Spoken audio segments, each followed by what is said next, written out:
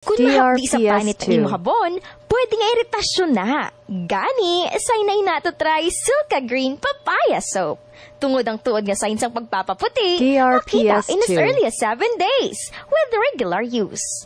Oh, amo na ning sign para magbakal sang Silka Green Papaya.